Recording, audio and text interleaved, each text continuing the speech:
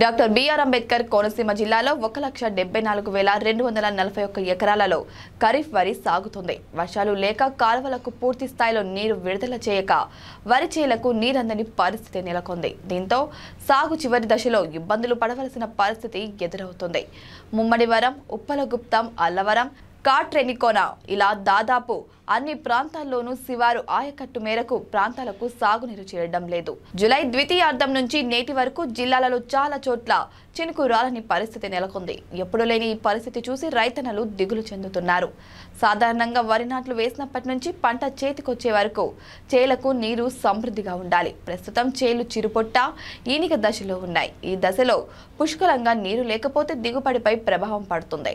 ముమ్మడివరం మండలం సోమిదేవరపాలెంలో వరి చేలల్లో నీరు లేక పొట్ట దశలో చేలు ఎదుగు బొదుగు లేకుండా ఉన్నాయి. ఇక్కడ నీరు సక్రమంగా రాకపోవడంతో రైతులు నానా పాటలు పడుతున్నారు. వరి చేలకు డీజిల్ ఇంజన్లతో తోడవలసి వస్తుందని వాపుతున్నారు రైతులు. దీనికి తోడు ఉష్ణోగ్రతలు ఎండాకాలం మాదిరిగా నమోదవుతున్నాయి. తొలకరి సాగులో వరి వంగడాలు అధిక ఉష్ణోగ్రతలను తట్టుకోలేక ఎండిపోతున్న పరిస్థితులు కనిపిస్తున్నాయి.